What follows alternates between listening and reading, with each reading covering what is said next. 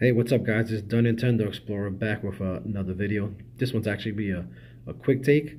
And the uh, reason for it is that Nintendo just announced that they're going to be doing a Nintendo Direct today.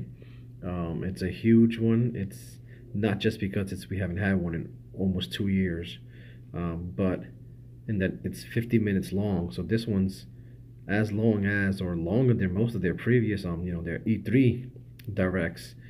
Um, so this one's big.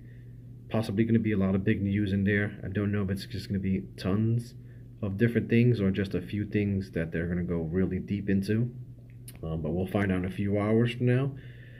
And I guess I just wanted to um, discuss uh, one of the uh, leakers has been posting some stuff and just give a few takes on on his leaks.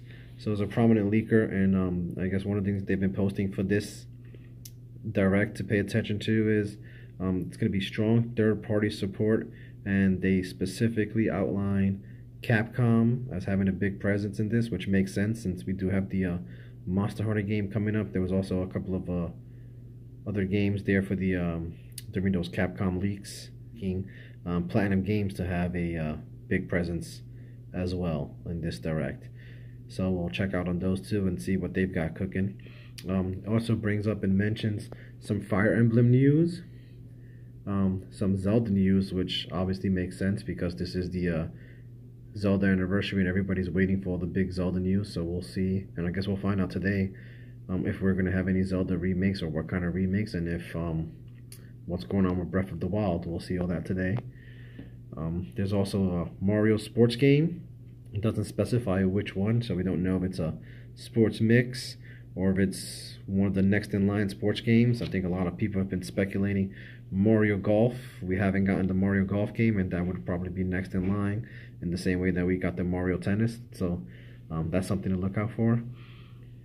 And there's also supposedly a new IP that's going to be showing off. Um, don't know if that's from Nintendo specifically or if this just another company working with Nintendo um, doing a new IP.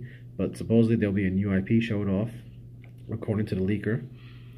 Um, most of the games will be the games that are um, for spring and summer in 2021.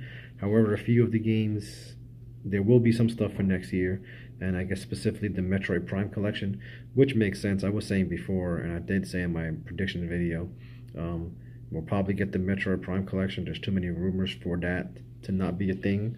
Um, but that's going to be closer to Metroid Prime 4. I think Nintendo's going to want to wait until they're ready to start talking about Metroid Prime 4 before they release the uh, Metroid Prime collection.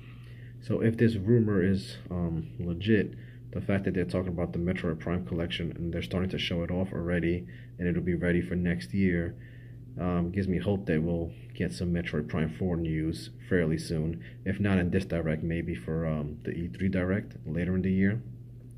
And then finally, there's also supposed to be a 2D Metroid that will be released in late spring. Again, that also makes perfect sense if the Metroid Prime stuff is still on hold. Um, and we have the Metroid anniversary. Nintendo's probably going to want to throw something for Metroid. Um, keep getting a lot of rumors for the uh, 2D Metroid Prime, uh, 2D Metroid game. So we'll look for some of those things. Um, 5 p.m. Eastern.